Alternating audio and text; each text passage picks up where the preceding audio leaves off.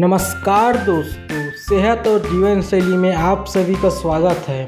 गुलाब जल का प्रयोग हर्बल चाय के रूप में भी किया जाता है। अपने दिन की शुरुआत गुलाब जल से बनी चाय के साथ करें। इसे रोज टी भी कहा जाता है। यह चाय न केवल आपकी सुबह को एक सुगंधित शुरुआत देगी, बल्कि चाय में मौजूद एंटीऑक्सीडेंट से आपकी त्वचा पूरे दिन हाइड्रेट और कोमल बनी रहेगी। इसमें vitamin A, B three, C, D और ई e होता है। इससे त्वचा जमा और चमकदार बनती है। इसे गले की खराश ठीक करने के लिए भी पिया जा सकता है। यह विटामिन सी के सबसे अच्छे स्रोतों में से एक है, जो इम्यून सिस्टम के लिए भी अच्छी होता है। इसे बनाने की विधि, एक कप गर्म पानी लें। इसमें आप गुलाब की छोटी छोटी दस कलियों को पाँच से सात मिनट तक डाल कर रखें। फ्लेवर अधिक चाहिए तो पानी में गुलाब को अधिक देर तक रखें। इसमें एक बादाम और दाल चीनी के छोटे छोटे टुकड़े भी काट कर डाल सकते हैं। स्वाद के लिए इसमें चीनी या दूध डाल सकते हैं, पर इसे प्राकृतिक रूप में ही पिया जाए तो बेहतर रहता है। तो दोस्तों, अगर यह वीडियो पसंद आया हो तो लाइक करें कमेंट करें और चैनल को सब्सक्राइब ज़रूर करें। अब मिलते हैं अगले वीडियो में। धन्यवाद।